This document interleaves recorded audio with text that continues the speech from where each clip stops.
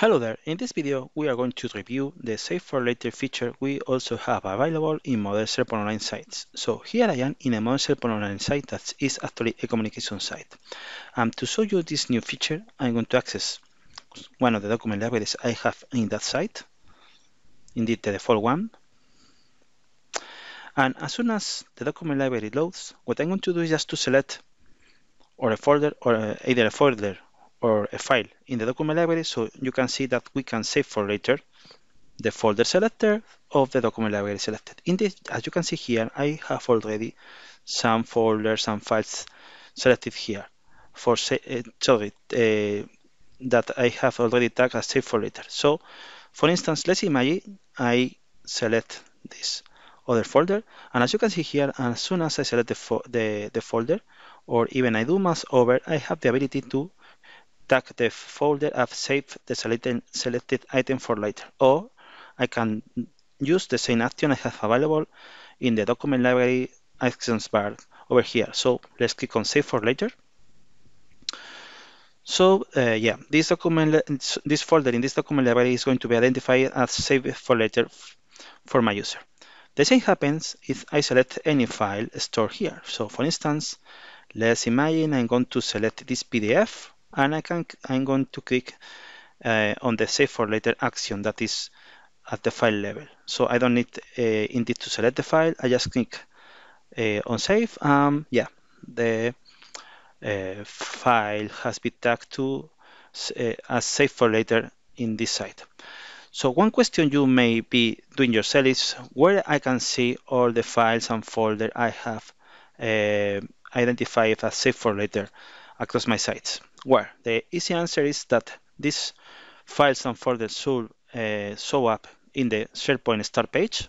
So I'm going to refresh the SharePoint start page on this tenant and I'm going to, to scroll down.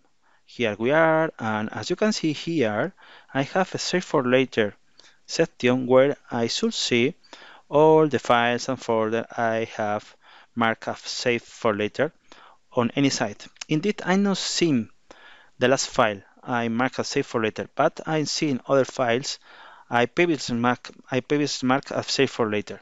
So again, I'm going to refresh to refresh sorry this site just to be sure everything is fine in terms of the save for later feature.